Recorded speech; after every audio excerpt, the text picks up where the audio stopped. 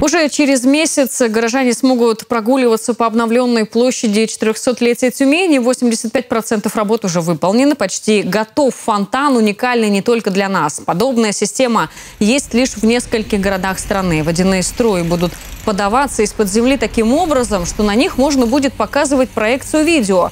Зимнее время на площади будут заливать каток, а летом организуют прокат роликов. Также здесь проведено дополнительное озеленение. К слову, после реконструкции площадь территории станет больше. Сейчас ведутся работы по гидроизоляции покрытия.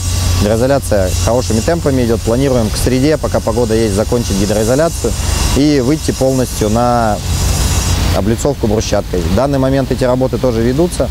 Сейчас устраиваем дренажный слой. Со среды начинаем облицовку уже непосредственно по покрытию паркинга. Отмечу, подземный паркинг будет двухуровневым на 292 места, за которые тюменцам придется платить. Бесплатно можно будет оставить машину лишь в ближайших карманах, в том числе дополнительно оборудованных вдоль улицы Механической.